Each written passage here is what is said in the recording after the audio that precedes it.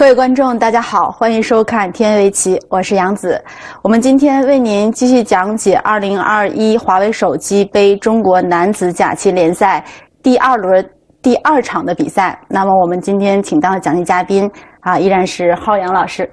浩洋老师好，杨子老师好啊，观众朋友们下午好。那今天这场今天这场比赛是第二轮第二轮的第二场，那也就是说昨天进行了第一场。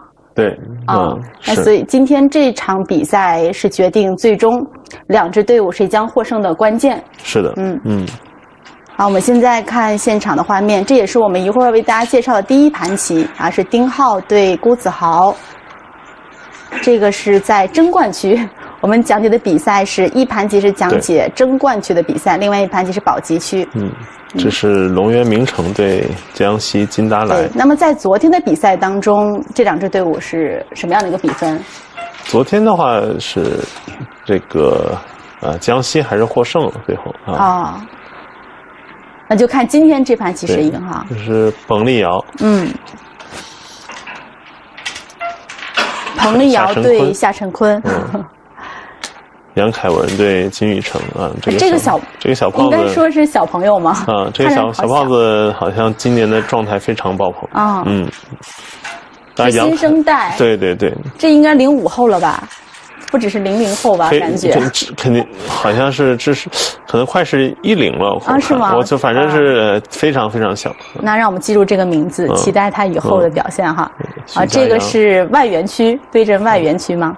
对，这是江西的大将徐家阳九段啊。嗯，那今天对阵的是谁？李东勋，应该是李东勋。啊，这是另外一盘焦点的对阵。嗯，柯洁对米玉婷。啊，昨天我们也是讲解了他们两个首轮战。我上昨天也是说他们是一个热身。嗯，因为因为今天主将应该还是他们两位啊。嗯，对。这在争冠区。对。黄云松对范印，这也是在争冠区吗？对对，这也是啊，这也是就是范印和柯洁是一个队的啊，都是北京。然后代表是北京啊，对是。他们两位昨天也是 战了一局啊。昨天那一局的最后比分是。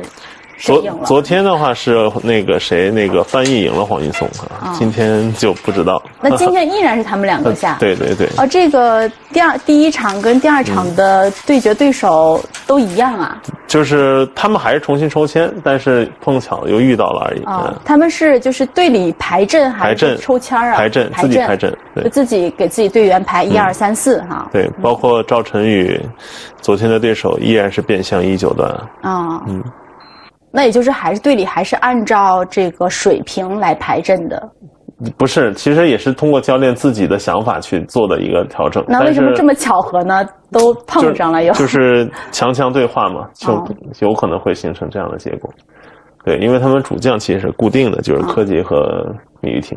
对，啊，那我们今天讲的第一盘棋啊，是由江苏队对杭州。名城队。对，呃，江西。啊，江西金达莱啊，说错了，江西队杭州龙岩名城。对杭州队，那两位对手分别是丁浩和郭子豪。啊。我们进入棋局，这两个人就可能不需要太多的介绍了。嗯，这两个人应该说是二零二一年迄今为止中国两位状态最爆棚的两位棋手，是吧？哎，印象中他们两位在前不久的比赛当中。是遇到了，遇到了，遇到了，对对，是进入到了决赛还是半决赛？决赛这个印象在决赛当中是这个呃大骑士赛，也是今年的，就是第一次的一个举办的第一届的大骑士赛。然后他们俩是进入到了决赛，对，然后最终丁浩呢是获胜，获得了第一届的大骑士啊。那这也是刚刚交过手、交过锋哈。这个黑棋的丁浩呢选择了。我们诶，这个布局，坐子开局啊，也是非常有意思哈。这个在应该说是在以前的围棋规则上，是不是就是 就叫坐子，先下成这样，然后再下棋？是，昨天跟朋友们吃饭的时候还说到，就是如果拿现在的 AI 的去跑一下，也就是说，来在 AI 的输入到这个里边以后。看一下我们古代的坐子的棋，嗯，会是什么样的一个感觉？对，当时昨昨天还是刚说到这个问题，哦然后据说是他们开局的确就是说，我们得先设置成这样，然后再看。据说是中盘的话，他们的力量是非常大的，就是吻合度也非常高。在古代的时候，他们的对局，就是他们做古代棋手对他的力量其实是非常大的。非常大。对对，然后因为昨天还说到李昌镐老师的棋嘛，所以就是说，看到他就是还和现在还是有一点不一样的，就是他嗯还是保持他自己的风格。嗯。然，后就说到这个，说到古代的话，如果看一下会是怎么样？那就是在就我们的古代棋手棋力也非常的强，也非常的强，也非常尤其中盘的战斗力是吧？是嗯，嗯好，点三三，对，实战就直接就点三三啊。说到这两位，就是谷子豪的话，是应该是在在这个嗯。二零二一年啊，取得了三项冠军和一项双边对抗的冠军，嗯，在国内啊。是两项国内的冠军，三项国内冠军加一项项。双边对抗冠军，应该算是四项冠军。四。四个冠军，对，那么丁浩就更爆棚，就是好像啊。在三个月内取得了三个冠军。哇，啊，就是所以说这两位的对决呢，简那肯定还是一个强强对话。非常精彩啊。是嗯，让我们一起来期待一下。不。过在上一局大骑士赛的时候呢，这个丁浩呢还是发挥的比较好，然后谷子豪的话发挥欠佳，嗯。然后就这个最后等于说下了一盘完败，应该说是嗯而大骑士赛的话，因为正常的世界舞台的决赛是三番棋，嗯，大决赛赛可能受疫情的影响，就一盘棋定胜负了吧？对，一盘棋一盘棋定胜负，对，这这盘棋我们一起来嗯，看一下。对。嗯，看，长，然后飞，啊，白棋选择的长啊。正常来说，其实昨天我们有也介绍过，有一次就是说在争四有利的时候呢，其实也可以考虑飞啊。就是飞的话呢，黑棋如果顶了搬啊，白棋可以考虑搬这个，哦，下这个顶式，对，然后下这个再形式。对，嗯，那么黑棋现在如果吃这个啊，白棋吃。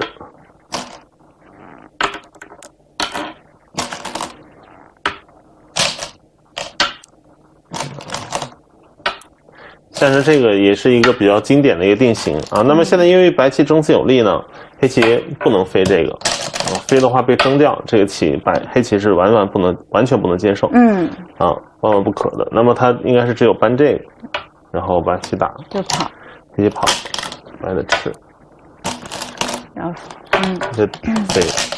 白的现在的情况下应该是顶，顶和提都有啊。在现在这个局面，我感觉上顶一个还可以。开始跳一个嘛，黑的跳或者是长啊，跳或者长，长有可能啊，然后白的虎一个，下成这个样子啊。嗯，个人认为下成这样的话，白棋还可以啊。我觉得作为白方一的话，其实把局面打散啊，然后把棋下后，嗯，在后半盘还是比较有利的，毕竟还是一个大贴幕的情况下。是，啊。然后这个局部的话，其实我觉得认我认为啊，个人认为也是白棋不错，因为如果黑棋不错的话，其实大家就不会就如果说争子有利的时候，黑棋就搬这个了，就是他不会飞这个了，因为肯定正常来说飞这个还是要好一点。这个搬呢，只是一个就是嗯强行的来防住这个争子，那这样的下法，我觉得毕竟还是有一点勉强的。嗯，就这个地方在一开局形成作战的话，白棋有利。哦，我是觉得主要白棋下后了，主要还这个其实可能下到这儿也也不存在作战了，就是因为走成这样以后，黑棋也不能再走了，因为走成这样以哦，后，这黑棋这俩子不要了。对，因为它走出来其实没有意义了，因为走出来的话，白的就跳，那么你如果压，我就跟着你长，就是这个棋主要我这上上下都是活棋，你把这两个杀出来，没有没有什么实际的意义，就是比如说你要这么走，啊，白棋白棋我就这种就随便就走一个，就是你这我这个基本上两个眼了。然后这块棋也是活的，其实黑棋出来也没有什么太大意义，就白棋可能也不见得会吃一个，嗯。就比如说黑棋你将来走一个，白棋它可能也不见得吃，可能就放在这儿了啊，嗯，就是双方都不动哎，。对。我觉得像这样黑白棋还是比较厚。嗯其实现在争子有利，我我我觉得飞一个还可以，那这个点三三的定式，简单的总结的话，白棋的下一步的应对，首先先看一下争子，啊，征子有利的就飞，征子如果不利的话就长一个，可以这么理解吗？简单的来理解，嗯，还得看周围的配合。啊对对，主要还是主要还是看配合吧。嗯啊，看配合的情况下，再看一下征子啊。因为现在其实长的话，因为你我们之前也介绍过，就是这现在黑棋因为不能跳，就是白棋征子有利。嗯就是白棋可能黑黑的只能飞。那么飞的话呢，可能白棋觉得你飞对我的冲击力不是很大，嗯那么我也能接受。那如果黑棋飞的话，嗯白棋接下来有一个搬了靠的这个下法，那是否能还原？还原不了。了，对，哦这个就还原不了呃了这个就没有办法。里边有区别啊，这个搬了靠的是后续啊，你搬了靠，现在我我我我肯定会吃啊，这个。你就不冲这个，冲就相当于还原那个对土嗯，我争自有利的那个图，那我粘上。你粘上，然后黑的我就长出来就。下上这个定型，啊这也是一个定式之一，后续的之一。对，之一就是是定式之一，但是像是这样，就是我其之前其实，在讲解的时候也有介绍过，就我我个人嗯。还是比较喜欢这个黑棋这个局部啊，就当时我们也是手多了一下，就是等于是这个样子。等于下成这个样子。啊，一个三三的一个定式，尖冲了飞了这样，尖冲，嗯，我爬，然后你长，我飞，那么你拐，我飞起来，你拆边，啊，下成一个这样的一个定式啊，下成这样的话，作为黑方来说肯定是比较满意，因为本身这是一个白棋星位的角，你等于下成了一个黑棋的角的定式，作为黑棋来说肯定是满意的，嗯而且这个局部的话，白棋现在尖冲了长的下法也几乎要被淘汰掉啊，就是因为 AI 出来以后，这个下法几几乎是没有。啊，那么接下来就在目前这个情况，黑棋满就是已知黑棋还不错的情况下呢，那么白棋这冲断，这两步棋的交换啊，显而易见是暴亏啊。嗯然后黑棋点一个和白的挡交换也是暴亏。嗯那么就是这两个交换呢，互相损了一下，其实结果应该是打了个平手。啊，差不多啊，。差不多。但是在之前的情况下是黑棋不错，那么我就觉得这个局部的话，黑棋还是可以满意的。嗯，综合判断黑棋好对哈。所以说，如果白棋还是要搬了靠，那我觉得我建议还不如直接飞这个，因为现在黑棋也不可以选择米氏飞刀，因为争子不利。嗯，因为这边是白棋的角，那么白棋搬下来的话，黑棋争子不利，它不能这样选择是啊，所以它基本上只能顶了搬。那么顶了搬的话，白棋再搬，黑棋也没有变化，就是它也不能转到这边来，肯定也是搬住，然后白的断。那么现在可能黑棋吃这个不好，黑的只能吃这个，然后白的打下来，呃就觉得下成这样的一个定型，我还是支比较支持白棋吧，嗯。我还是比较支持白棋、啊。当然，实战长也是啊正常的选择，是。实战长之后挂角。然后黑棋是三间高架，三间高架，嗯，这个三尖高加也是 AI 出现以后大家所常用的一个下法。嗯，在之前的话还是比较少见。嗯，就之前的话，其实主要还是觉得被点脚之后白棋不错，但是后来啊，AI 老师呢给我们的 理解的话是黑棋不错，对也是颠覆了之前的一个围棋的一个理念。对。这个三间高加的定式，记得小的时候学棋的时候也学过，嗯。但是真的很少用，也很少下，嗯。除非那那种比较特殊的情况，就是比如说白这边要围一块很大的空，黑棋嗯作为破空的一方过来夹击、是，啊。但就是是嗯，因为小的时候是这样的，小的时候啊，主要不会不会这步爬，往往点完三三的话都粘粘上。对。啊、当然书上也是这么写对，然，后当这个白棋跳出来以后，这个地方黑棋它下一手棋不好补了，就是它虎的话，将来白棋还是要搬起来，就是就是黑的，如果你吃这白的再打一下，这个黑棋的效率啊显然是不行。那么这个棋如果你不虎呢，将来被别人跳出来，你这个棋，你这个后世有可能就要受攻。嗯，那么就下一手等于黑棋没有下一手了，不太好应，呃，所以说呢，当时也是觉得下成这样是白棋比较满意是啊。那不是说这个棋棋不好，是当时不会这步爬，嗯。主要是不会这步爬。这个爬的时候，嗯白棋跳被搬起来，黑棋的整体棋形明显比粘上要好。那白棋先。长一个呢啊？白的要长的话呢，黑的棋它就粘上，然后当你跳的时候呢，它把你罩住。那么它这手棋的交换，黑棋它本身可能粘完以后，也许这步棋可能是还可以的一步棋，嗯但是这两个交换，白黑棋显然便宜了。为什么？首先，如果将来白棋这儿死了，那不不用说，本来你搬粘是先手，等于这两个交换你已经亏两步棋了嗯，啊。如果你这棋你将来要动出的话，本身你本来加一个，你利用将很多很多。对，加它如果搬，然后这种拆一，有可能局部就活了。但嗯是当黑棋交换到这一下之后，白棋在这个局部其实它的生命力是不够顽强了，基本上已经很难再动了。对，啊。所以说这一下交换黑棋是明显便宜的，嗯。啊，这也是当初我们以前的时候不现就是没发现的啊，一步好棋，对，嗯。嗯，其实到现在的时候啊，发现这棋可以爬完之后搬的时候，那我们这个家呢，又又重现江湖了。这样的话，这个整体的效率黑棋很满意。对，很黑棋是不错的啊、嗯是不错的。就是这个也和我们目前这个形成一个对比，嗯形成一个对比。那么就是说，等于是这个样子，这样。当初我也是给大家说过，就是像成这样，嗯然后互相点一个，然后一拆，对吧？然后这个时候白棋搬粘，嗯，然后黑的虎，那这棋肯定亏了白棋。你这么早过于过早的搬粘肯定亏了是，啊。那么黑棋等于没虎，它飞在这儿，然后你靠一下，那么它可能比虎还好一点。嗯，这一下没少损这一。下没少损啊。这样的话，它可能比虎还好。你就不过这个子移了一下，但这两个子的其实差不多嗯啊。所以说这样的话，感觉上局部黑棋还是比较满意。嗯，对。每次听浩洋老师这用手割完之后，特别的清楚。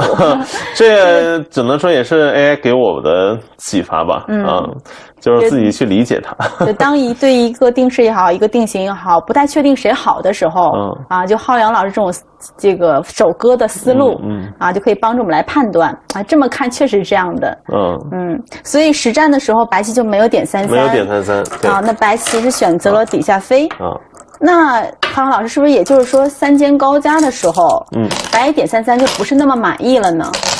嗯，还是说也不能说也点三三就被淘汰了啊？呃，正常来说，我我还是就是我本人，我觉得挺喜欢白黑棋下成刚才的这个图的。嗯啊，当然也有的棋手他会觉得点三三这样速度比较快，然后再抢别的，抢抢占别的，啊。呃，也可以下。那就是得看这盘棋的格局、嗯是不是有特别就是想抢的地方，对赶紧脱手，嗯这边走个先手。对，也有跟风格有关吧，因为就像跟下成刚才那样，就是我我觉得就是局部黑棋比较满意，但不是说白棋就不能下哎，就是可能也差不多，嗯，呃，可能也差不多，但是就是黑棋比较好掌握，就下的比较厚，然后局部也还可以，是。嗯，那实战的白棋小飞就是另外一种应对对哈，另外一种应对，嗯，小飞小飞的时候，黑棋走的是大飞手脚？大飞手脚，哇，非常的灵活。这是 AI 推荐的选点吗？还是这个临场发挥？这个这个我我我个人来说，我还是不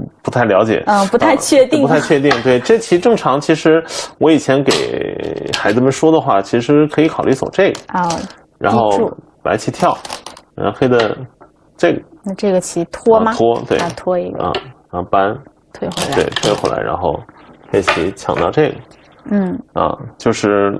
在这个局部来说，单看这右上角，那么肯定黑黑棋的效率肯定是不如白棋的。嗯啊，白棋的这个棋形活了出头还是比较满意。但是再看这边的话，黑棋抢到了这个飞，抢到了这个，那么对白棋这三个有一定的威胁性啊，感觉上也还是可以啊嗯。但是现在的话，因为是这种下法呀，和这边还是有点关系。就在这条边，我们看这条边价值不是很大的时候呢，可能这样下比较好。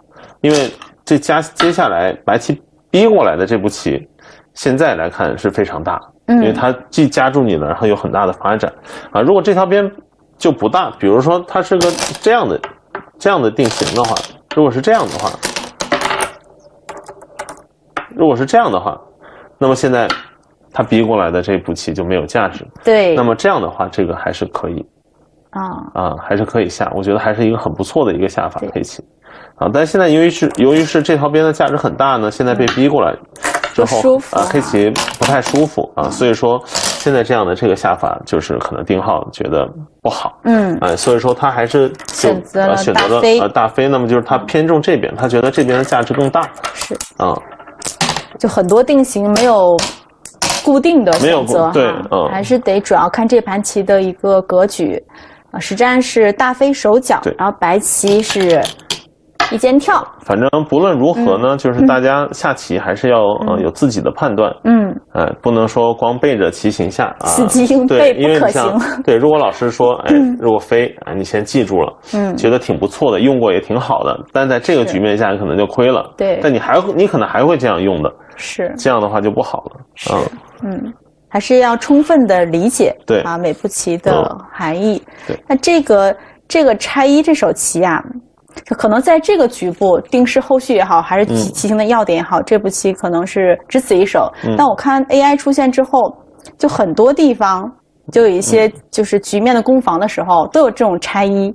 就是原来会觉得这个拆一很慢，就速度很慢、啊。嗯对，其实浩洋老师有没有这这个有没有就是有这样的体会感受？就很多地方有个拆一，感觉像，积蓄力量一样以。前以前的时候，我自己下棋也是一样，就是啊像这种拆一啊，就是当时下的时候还是有些不肯，嗯总觉得好像有点慢，然后但是其实这步拆一在很现在很多的时候都是一个双方的一个根据的一个要点，嗯，哎，所以说现在的理念和之前还的确是有很大的一个变化啊。啊差别。嗯，就是，但是我觉得现在别见拆一，如果还不一定是拖呢，不一定要拆一。其实现在我觉还得想拖对我还是想拖，因为拖的话就是下成还是刚才这样嗯啊。那么感觉这地方先捞一票，感觉还是挺舒服的。黑棋现在他应该也不会往这里走嗯啊。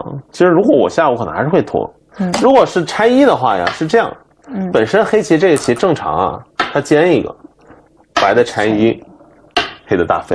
啊但现在呢，这棋它是先大飞的，如果你也拆一，那么现在黑棋就不尖了。黑的这步棋好像它就不大了，因为你拆一的话，你这块已经活了，那这步棋呢，只能说是一个目数的问题，是，不是一个双方的眼位的一个要点。嗯，啊，所以从棋理上来说，如果我下从气合来说，还是想拖它 啊，这个棋，嗯啊。那正常本来这样的话，那我觉得正常。这样的话，现在白黑棋，我觉得丁浩应该不会尖吧？感觉应该是脱先了。嗯，就像你说的，这跟棋风可能有很大的关系。呃，有可能浩对。洋特别喜欢这个实地。对，我是喜欢实地。那么嗯郭老师肯定是他就积蓄力量，想去攻击黑棋这个。嗯对啊这颗子有一些想法啊。对对就现在可能攻不到，但是在以后这颗子总归它没有活。对，嗯挂角，然后白棋是一间低加，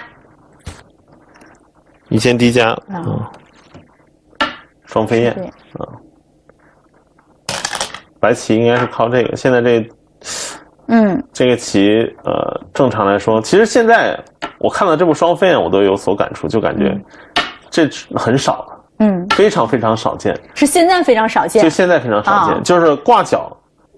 还相对来说多一点，然后一间低加很常见，但但是挂成这样以后，基本上都是脱先的。说现哎，对，我记得好像上次嗯有一次跟浩洋嗯老师搭档的时候，嗯就讲到过这个定式。对当时推荐是黑棋可以脱先。对啊实战当时那盘棋他也脱先了啊。就现在的话，可能是丁浩觉得脱先也没有什么可以去的地方，所以说呢，还是选择了双飞燕。没有什么可以抢的地方。啊对双飞燕。对，如果啊现在白棋靠这边的话，现在被点三三，感觉上还是有点亏。就是如果那你就是单点三三吗？单点三三就那下不搬掉。对不搬掉啊，就下成这样，感觉上，因为黑棋这里有大飞嘛，白棋在这里想攻击到这个子的话，不太可能。嗯那么这这个东西它就不见得是后势了，嗯因为你没有眼位，你还不见得有可能要受攻，嗯啊所以这样方向肯定黑棋是比较满意的。如果你挡这边呢，然后这种种是这样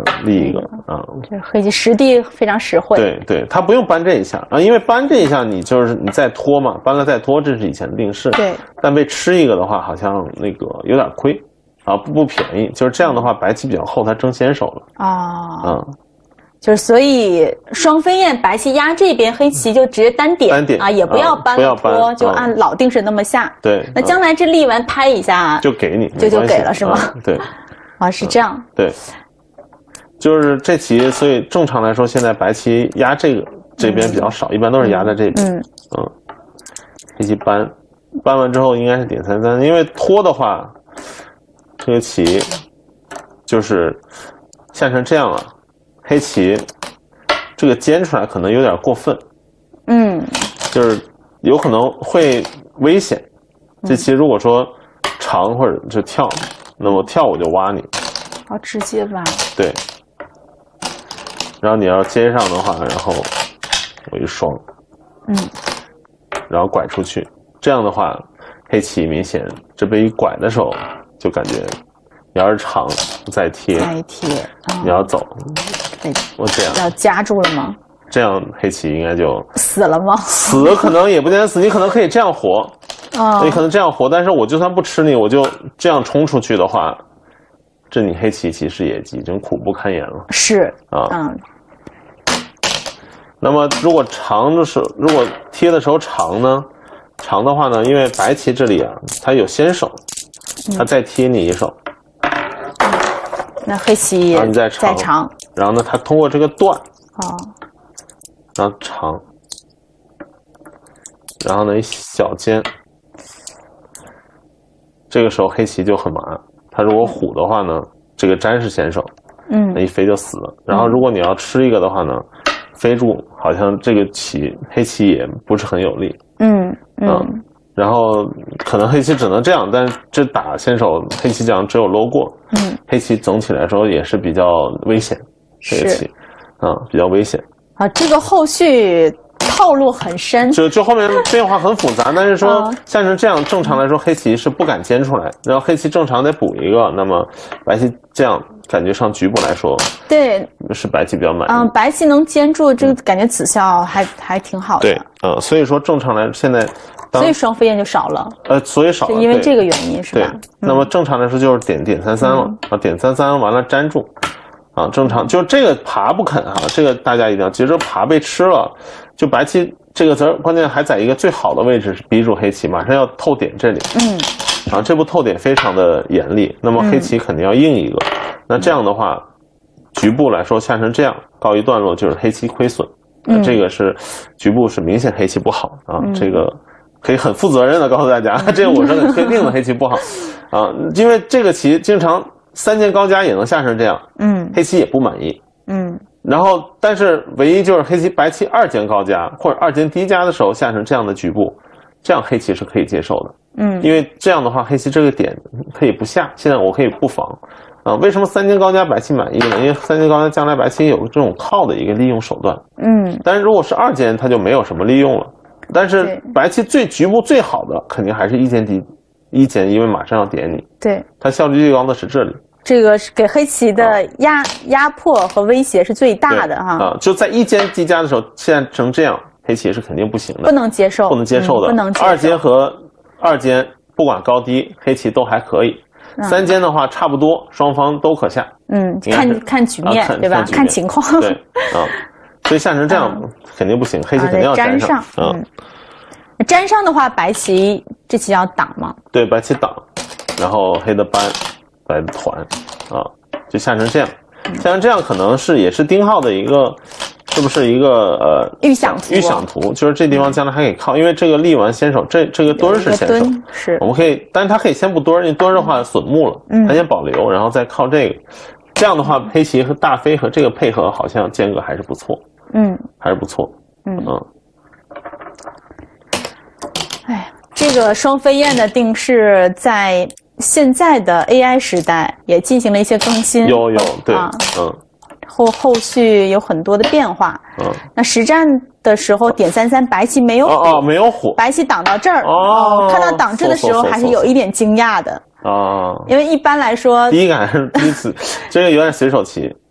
是白棋随手棋吗？对我虎好像有点随手棋，确实挡一个要好。挡一个要好，因为下成刚才那样，我觉得黑棋的预想图其实黑棋还是可以，啊我感觉下成这样。哎，但是一般情况下，就是点三被挡，直接爬回去是不能接受的但现在是它更新了，就是原来的下法呀都是这个，啊。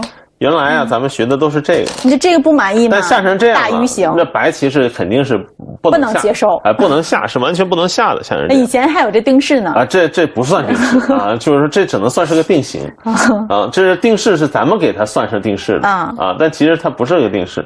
啊，就是现在啊，主要是它挡完以后啊，它的棋更加灵活了，它应该它可以断这个。断，这个啊，断完了，只要黑的这个只有粘，这嗯没变化，然后它可以争掉这个，嗯，那这这个这跟争子棋有关系。对，，你要争子不利，白棋这个棋挡这边被爬回来，肯定就凉凉了。嗯，啊，它现在因为争子有利啊，这个棋挡完了断啊，挡争这个还是不错的下法。我发现很多定式好像都跟争子是挂钩的。对啊，所以下定式的时候，嗯。如果下的想更好一点的话，一定要切记先看争子再选择。啊，这个这个这个好，啊，这个好，嗯，能把这个子蒸掉。对蒸掉，然后白黑棋冲了班，应该是嗯白的提掉。那这样走完的话，白棋就可以让这个大飞没有办法那么充分的发挥了。嗯，反正这样的话，很，白棋很厚。白棋是提吗？白棋有没有再抢一手的感觉？提感有点慢嗯他实战选的是提，啊，还是选提了？对，实战是提。但是如果提的话，我觉得丁浩把这一间，感觉黑棋挺润的呀。我觉得我比较，主要实在是实力太好了，就觉得现在他感觉这个白棋提在这儿，怎么说呢？还是他们两位棋手各取所需吧。嗯，啊、反正辜子豪辜老师，我们知道力大无穷啊、他们棋都下的很厚，对他本来就是把自己棋下的很厚，然后中盘的时候突在发力发力 啊，直接就将你击倒啊。但是丁浩反正下成这样，肯定自己也比较满意。我我觉得有抢一步的心情，嗯因为黑棋的引征好像没有特别严厉的引争，呃，没有特别严厉的引争。嗯，就你除了这个和这个，这这引上了。你这个我无所谓，我就提了。你下一步也对我不能怎么样，你除非这个，但这个的话好像没有引到，你跑不出来，依旧跑不出来。你走这个好像依旧也是跑不出来的，我刚才看一下，也是不能跑出来的。从这里打打过来了，嗯啊，就是你这两个不能引引争的话，我感觉可以先蹭一下，我感觉还可以先蹭一下。嗯，啊，这个棋因为黑棋有的时候打了长出来特别大，但现在感觉还好。啊，提一个只能说是辜老师的棋啊，厚实。那丁浩必然一看就是啊在积蓄力量，后半盘准备发力了啊。那丁浩必然是兼这个丁浩的棋风是不是酷爱实地、均衡。均衡型的？呃，，对，丁浩就是均衡，然后失误少。嗯，他下的好像也挺厚重的，嗯，就是均衡，就是说他该捞就捞，该走就走，就是那种没有明显的流水不争先的感觉啊。嗯，就是比较均衡，呃，然后没有什么失误，主要是。那确实这样的对手，我觉得很强大，对，因没有为明显的失误短板。对呃，郭老师的话就是，反正他就是他这个棋就是嗯特别重剑，就是我评论他就是重剑，嗯。啊、就是一把拿着一把非常非常重的剑，嗯。然后来砍你，有可能伤人伤己。就是你要被砍到了你就完蛋了啊、你要是他没砍到你呢，他这个重剑就是自己也挺累，是，哎，就就是他那种走对到自己的路子上就下得很顺，但如果这盘棋无处发力的话，嗯。那，就有可能就这个就很难再赢，是吗？嗯嗯。嗯，我觉得这步棋，反正作为我来说，目前这个棋和这个两个拆一，我都认为应该往这里下，嗯。这个很大，这个目数很大。实战是点三三，然后挡嗯七半，连扳啊。我们可以从这步棋，我们可以看出来，丁浩这盘棋的策略就是将实地进行到底嗯啊。这个挡了连扳也是非常实在的一手棋，嗯。啊，其实也是我经常也想推荐给大家的一手棋，就是当别人点三三的时候，你很多的时候挡了连扳都不错，只要你配合还可以，嗯就是尤其是这边黑棋有子的时候，就是就是也就是说这个提子白价值变小的时候，哎，就是这条边啊，价值不大的时候，嗯。那你挡了一连扳，让他提到这儿啊，他没什么发展，是呃，就是说黑棋的这个下法还是比较简明，也是比较实用的一种下法。你说特别好吗？也不会，也没有啊，但是就比较实，就是简明啊。然后这样的话，因为你自己黑棋呢比较就是活了，然后实地也比较多，也不错啊。然后白棋呢，主要这个东西啊，它别为自己为控，黑棋这个它去限制白棋是非常好的，因为白棋对拿黑棋没有什么办法。嗯啊，但你要自己围控的话呢，你像这种棋，它有先手，对吧？它贴一个的话，你气也比较紧，嗯啊，所以你用这个围控啊，我不建议。但是呢，你总是这样，你你很厚，限制白棋是比较有用的嗯，啊。所以当这条边如果价值不大的时候，挡了连扳这个下法还是比较值得推荐值得推荐，而且嗯简单又好用。对，简单好用。那实战白棋选择了搬了靠，嗯，那就是说，这个郭老师肯定还是想让自己的这个拔花变得有用吧？嗯，发挥它的价值。哎，对，嗯啊，这个是比较好理解啊。搬了靠的时候，黑棋实战是单打啊这跟我们刚刚摆的那个定式的后续是一样的。因为这个局部单打比冲啊，冲的话局部也是定，但是就是说单打局部白棋呃黑棋满意，也嗯是刚才也是给大家分析过啊。当然白棋呢，他就是说我就算局部亏一点，但是呢，我还是想要发展一下我这个拔花儿。嗯，但黑棋把这个头挺出来的话，这颗子也可以兼顾上。呃，对，也可以兼顾上啊但是呢，郭老师他的意思是说呢，你本来你本来就走成这样的话，定式嘛，咱们刚才摆的。嗯但是呢，他觉得我这个不算你兼顾，是我限制住你了，你这样你这配合不好。啊，他也可以这么说，就你长出来，你确实把他救回来了嗯。啊，但是呢，你的发展可能也不好，是。所以说这个地方呢，就是双方都有理啊，谁说谁有理啊？当然就是说，像是这样的话，局部黑棋还可以，然后白棋配合这边，应该还是一个双方差不多吧？嗯。嗯，都能接受都能接受啊。但这步飞呀，黑棋虽然说你这个配合看上去不怎么好，嗯但也不能少这步棋，嗯。啊，因为你要不下的话，白棋这将来跳过来的时候，因为这里这个地方毕竟黑棋还是没有活透，嗯。将来如果跳完之后你不走，他挡一下还是先手，这步棋还是非常大的。啊。虽然说你好像看着飞起来这儿没什么目，但是还是要飞。是。啊，这步飞必不可少啊。下成这样以后，大家一定要谨记，嗯。嗯。飞的时候白棋上靠，对啊，他还是意图就是说，还是觉得你这里价值不大，嗯，他想跟你多交换一些。白棋长，嗯。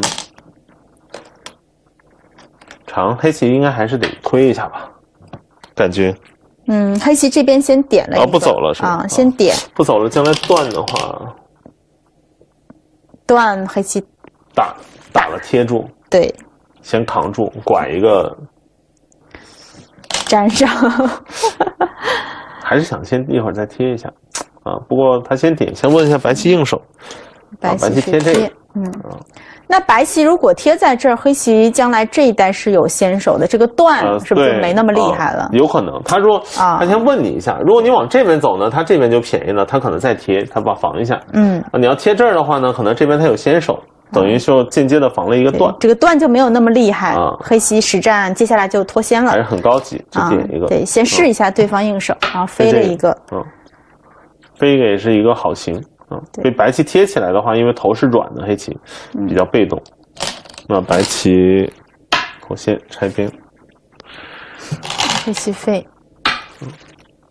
就是现在到目前为止啊，就是他们双方就布局下的，我还是比较看比较看得懂。嗯，啊，有的时候这个小孩儿、年轻人下的棋，有的时候布局的，我就有有的时候我就一头雾水，我就是快要看不懂。跟不上他们的这个思路是对，吧？嗯。但目前反正至少布局这是多少手不知道，这个对，我觉得我比较支持黑棋，因为这个嗯。局面是我比较喜欢的。啊。当然，白棋也很厚啊，嗯是，反正这盘棋的格局就是双方要比拼内力嗯，啊，都下得很稳健。靠了之后应该是要连扳反扳啊，啊千万不能意气用事断上去。首先现在可能争子不利，对，啊这刚好这就算争子有利，人家打你跑出来这块棋还得做活啊。这个棋靠了一定是反扳，嗯，黑的不走了吧？嗯，还走吗？不走了吧？没走挡，啊，挡这个。嗯。好挡这个很很大，这不光是目数大，同时也威胁这块棋，嗯，这个今天的丁浩确实就是实地，实地、嗯，实地为王还是实地。嗯，在我的世界里只有实地两个字是啊。我喜欢，跟跟潘文老师的风格对很相像，是吧？但是你说啊，其实郭老师下的很厚，嗯，可是他现在其实没有什么目标可以可循，嗯，其实就他的后世现在他发挥的方向其实是比较模糊的，嗯啊，那么黑棋这里一个角十几目棋，这一角十几目棋，这里十几目棋，那里二十目棋，那已经全盘扎差不多已经五十目了。嗯，那白棋的话，这里五十五十六，大概二十目棋，这地方和这地方这三块加起来大概十十目棋。就现在目数的话，黑棋还是明显有优势。那么白棋的方向在哪儿？目前也没有找到。嗯，哎，所以我是觉得这样黑棋还是不错。就是它虽然实地我喜欢，但是你也得对吧？君子取地，你得有这个什么怎么说？取之有道。对 你这个就是说，如果说你特别勉强的去取取实地的话呢，那么也不见得好。是。嗯。飞的时候黑棋再贴贴，嗯，白棋搬，黑棋跳，嗯。对于辜子豪。辜老师的这个风格，因为他是喜欢把棋下的很厚嘛，然后后半盘发力。嗯，那如果这盘棋的路子没走对，就没走到他的这个可以发力那个点上，那是不是他也会明显的会有实地不足？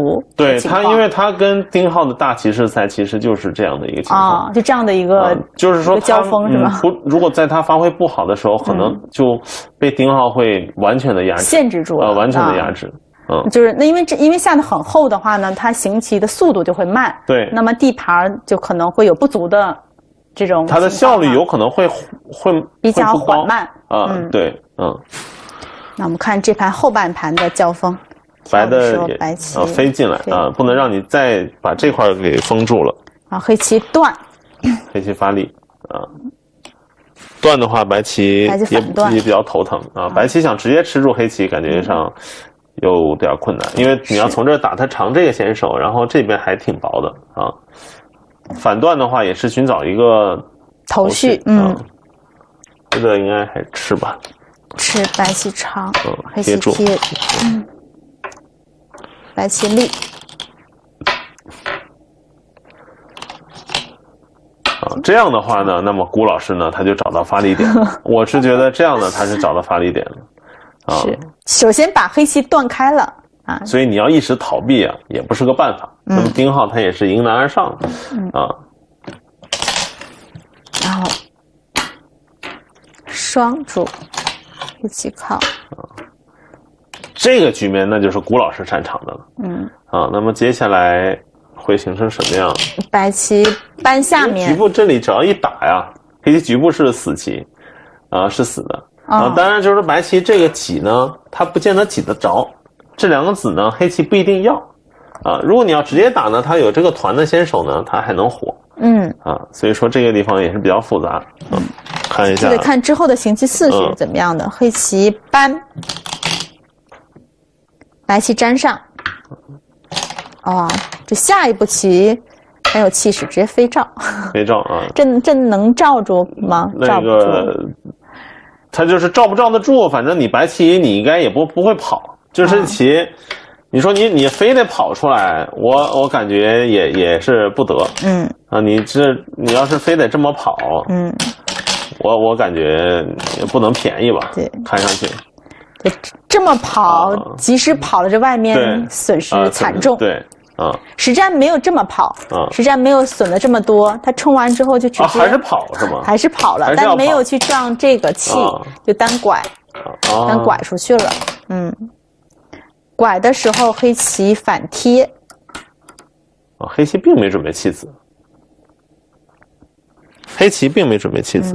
看来看来双方在这一代都没有准备弃子，啊，都没有准备弃子。但是如果贴的话成立，那白棋可能就要。危险了，因为嗯，一旦丁浩寄出这一步贴啊，那就是他的意思说，你如果拐是不成立的，嗯，就是他把这个顶回来啊，这个杀气白棋是不成立的，因为这个子你不能给你粘上。是，那么局部他如果是杀气，可能不见得杀，他可能这边还可以出头，嗯，这样的话局部白棋里边可能就要凉凉，嗯。啊，那么如果你不让我顶，你吃一个，那我你盖帽。那你这可就没了。你看看？你不像我这么跑，你有这样的风险。嗯，那么就是说，郭老师是不是看见这步贴？嗯，那接下来战斗就比较激烈了。这样，啊，白棋立，先立一个，啊，这个立这一立，这伤敌一千也自损一千啊！这个 说实话，立的因为立黑的一虎，局部白，你把一个黑棋一块死棋变活了，嗯，亏手棋，就白棋就是为了要立的先手，立的先手，对。然后可以让这边已经啊。先手度过能了，度过，但是这一手棋先亏一手，就你这一个交换先亏手棋。啊。因为本来白棋黑棋是个死棋，你不能让它变活了。是，啊。那么这个实战就是这么么交换的，啊。立一个，然后黑棋吃，白棋把这个拐出去。哎，不过能抢到这个拐的话，这边的损失是不是也能扛一扛？这个只能说你得看外边把黑棋是把黑棋，就是说你得把黑棋弄成什么什么样子，因为这个棋，你首先啊，你虽然是度过了，可是白棋你的目数啊，嗯，其实是非常非常少了，已经。就是刚才我们这里应该算是白棋的大本营了，嗯。已经最多的目数在这个地方，嗯。但现在已经被压到了二路甚至一路，嗯，然后这个地方你先亏手棋，那么如果黑棋把这块连出来以后，白棋你能不能攻击到这边？嗯如果攻击不到中将，那你这个实地估计就是雪上加霜是。啊。嗯，实战黑棋靠这边先，这边先交换了几个啊，断一下。啊，断一下，白棋是退啊，先把这个都走掉了。啊这这也是黑棋的先手便宜啊！你看，我们其实黑棋现在走这个，本来白棋可以考虑吃这边的，嗯，但是他觉得吃这边转换的话呢，他这个棋实地不足啊，那么还是要把这个连回来，就是想办法去冲击中间黑棋这个。可是这样下的实地挡回来，白哦棋小尖，黑棋冲下来黑棋冲下去。啊。丁浩的意思说，你这地方你没有办法好好的吃掉我，那么我先把这个挡住，把这块棋走活了。现在你等于是白棋，你要是不尖，你不好封这个地方。你要走这儿的话，我搬出来，嗯，对吧？那现在你就有小尖，那小尖呢？我们知道这吃等于变成先手，你只能粘上。那么我可以还可以先不吃，我这个冲下来，因为我这个打是先手。你要是把我断了，对吧？那我再一吃，然后走，我再一粘，你只能补下面，嗯，然后你这这漏啊就漏了啊。那么就是丁浩看好了这个地方啊，你你可以把我这儿吃掉，但是呢，我冲下来我可以吃你四个，那我实地我还是可以接受嗯，啊。然后白棋打吃，黑棋打一下，好，现在就打一下对，打一下啊，因为你如果之前先打一下呢，白棋提掉以后啊，他就不会吃这个了，啊，这个子儿就小了对，啊。现在的话，因为你没打这一下呀，它有这个冲断的危险，所以说白棋他得吃这个。嗯那这个时候他再打一下，这就是一个美妙的次序。啊，所以说大大家呀下棋的时候，像这种打吃，你们应该也可以看得到。但是如果先打，可能就是棋友们很不错的计算力，但是是，啊，没有先冲起来的就是丁浩的计算力。嗯啊，嗯，然后再打。再打外边，再弃掉啊。棋，跳一个，怎么样？这个棋下成这样，我们来嗯将来提调一下，判断一下。啊，就是说看一看，下成这样，嗯，应该是全力。然后现在局部全盘的话，黑棋这里刚才是点十三，这里的话大概是十三，那二十六、三十、三十二、三三四、三十五，这块八十、二十、二十二、二十三，嗯，三十五、二十三，那就是不到六十目棋嘛。嗯啊，不到六十目棋。嗯然后白棋的话，这里是六七十七，二十二十二十五，二十五二十六，七二八就三十，三十加这个，就是跟刚才的目数其实差不多，就是跟我们之前啊在之前判断过的形式啊还是差不多。嗯白棋的目数肯定还是非常不好，就是还是不够，那么还是得利用这个去为数一些目数。但我感觉还是黑棋好吧。就这两个吃的其实目数差不太多。就是白棋，刚才我们其实也点了二十目这里。现在的话，你吃了一二三四五六，这将来还得收气，主要是一二三四五六十六十一二六二十二二三，大概二十七目棋。嗯，但黑棋那边黑棋也多吃了八九十十一十二，它本来就有收气，本来只能只能点十目这里，现在它等这十目扣掉了，它多了十十二十三，它多了十几目棋。那这个转换从就是单单纯从从这个目数上来说的话，是黑棋好，还是黑棋便宜？黑棋便宜，哎，还是黑棋便宜。但是白棋把这端出来了。还是有一定的收获啊，但是如果攻不到这个黑棋呢，它收获就没有那么大。可这个黑棋看着也挺厚的，挺厚的，因为这白棋这气紧，就是如果将来将来扑了，这样扑了打吃完，这气是紧的。是，哎，所以像是这样，应该是明显的话，黑棋还是不错，还不错，嗯。就感觉有点又被这个丁浩呀，这个化骨绵掌给他，给顾老师的力量抑制住了，给化住了啊。糊的时候，白棋这边先露一下，露了一露是先手啊，因为立完得拐出来了。露完飞，嗯，定，压出来。哇，你看这丁浩这个一步一个脚印啊，嗯，应该还是对这时候的这自己的实力比较自信了。是，嗯，飞，飞吗？这个吃掉啊，这个吃掉了 啊，一步一个萝卜一个坑，白打，打的时候黑棋没有提，再不翻打再翻打出来啊。啊，好奇，好奇，好奇啊！因为你要提掉，它就它翻打，你提它再打，那你这棋主要是你打吃的时候，它提是带响的，嗯，啊，你要不提呢，它就算了；那要不吃，它就算了，啊，这样它是带响的话呢，它将来总是便宜的啊，总是便宜的。本来它提，首先白棋不见得会顶，如果顶的话呢，它肯定这棋它能放在这儿，将来它可以虎了搬粘，目数显然比这里要好。啊，你打吃肯定是后手了，白棋现在，嗯，哎，所以说他这个子儿从这儿移到了这儿，然后你还不见得会顶，所以说这个翻打，嗯，又是一步不错的棋。就在在这种细节的地方，高手肯定下的特别的漂亮。就马上就虎掉了，你看，嗯，然后搬断的时候压。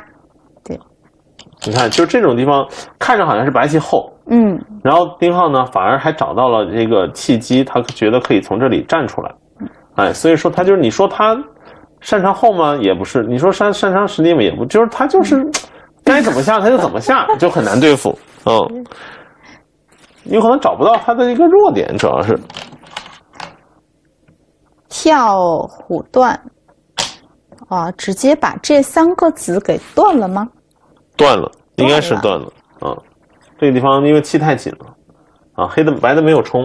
啊，白棋白棋选择了搬，白棋搬，黑棋搬，白棋再冲，再冲的话啊，如果说黑棋这样再走呢，那白棋它有一靠，嗯，你冲，我挡，你吃。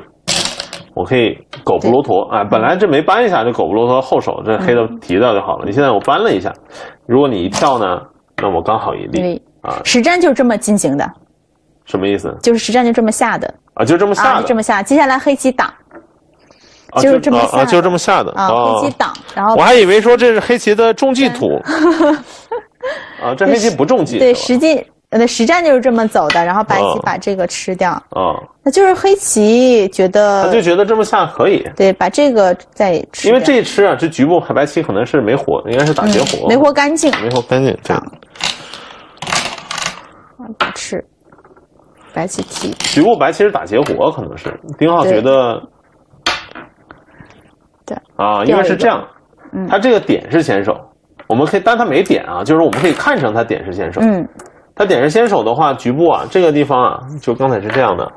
白首先你打吃先手，但是你这个不够活，你这个眼位明显不够对吧？那如果你往前冲呢，他刚好这个先手他你断不开他。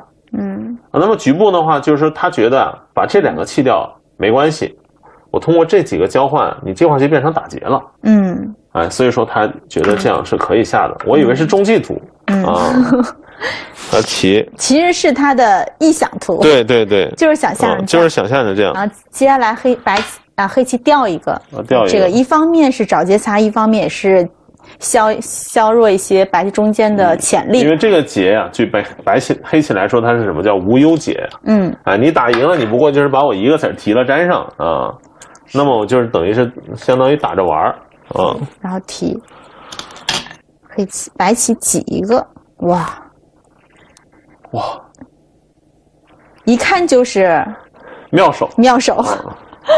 妙手对，一看就是妙手。这卡一个，卡完之后是卡要发力了吗？感觉卡巴斯基。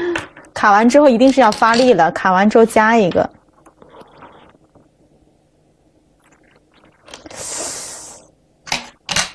哇，这点这是什么情况？啊，现在等于是说什么呀？嗯郭老师说你这地方你没点到，这期卡的时候先点不行吗？他现在主要是在吃啊，他在加的时候，他说你这个地方如果黑棋本来冲是可以的，嗯然后白的吃，然后黑的长，白的郭老师可能现在给你把这个给你提了，你先你把我这儿粘上的话，我这给你打进去了。他意思说你这地方你走不到了，他嗯卡了一加，那卡的时候白黑的丁浩不肯点，还是说他就看到你加了，然后他故意的让你加一个？他点的时候白棋也加呢。那不一样啊，那我粘上了，那可就不一样了。啊，那你吃，我首先我可以先吃一下，我就算不吃，我就给你接上也行。提呢？提掉。你你提掉呢，我无所谓了，嗯，我只只只只要黑棋这块棋活了就啊可以连上就行。了对，啊，可能丁浩是看到了加的时候有一点点，白棋提啊，粘上，然后冲。哇，在这个地方杀出一条血路啊，应该也是，我是觉得白棋可能确实是唯一的一个机会啊。打吃，嗯，打吃接上，他再打。对，这棋因为冲回去的话，白黑的打了肩上就就白棋主要活了肯定不够这棋啊，白棋肯定得对黑棋造成冲击才行。冲回来。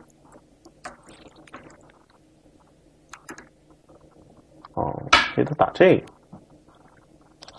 那就是又要打劫了啊！黑棋这里有劫财，这里有很多一些劫财。嗯啊，打吃白棋粘上，白的不能断啊，断的话他给你打劫，因为黑的这里有劫财。嗯。白棋的话，劫财确实没有什么啊，因为打输了的话，这块棋都都死了，所以白的粘上，黑的吃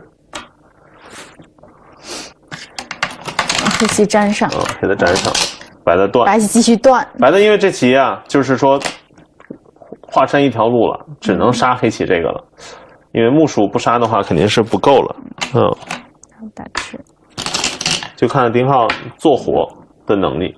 啊，白棋飞，飞这个，那这不像是吃棋的样子啊。哎，这个地方没有走，这个地方没有，没有，没有，这这个地方是这样的，哈哈啊，对对，刚才那个是摆的变化图，对，摆的变化图嗯。啊。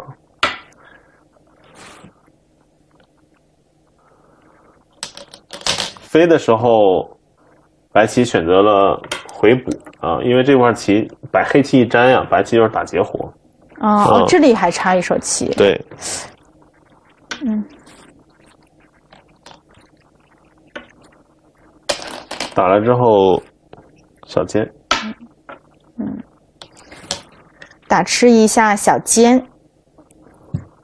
白棋靠，靠的时候干脆就没理了。黑棋冲，嗯，嗯，对于黑方来说，黑方只要把中间做活，安全运转，问题应该就不大。嗯啊。木数的话，我们看全盘黑棋这个角、这个角、这个角加这个、这这个个木薯实在是太多了。木数非常的丰厚，嗯，然后白棋长，黑棋尖，对，不断，冲一下，嗯，这冲一个打僵吗？打僵了，应该是打僵，读秒了读秒了啊，对，加这个，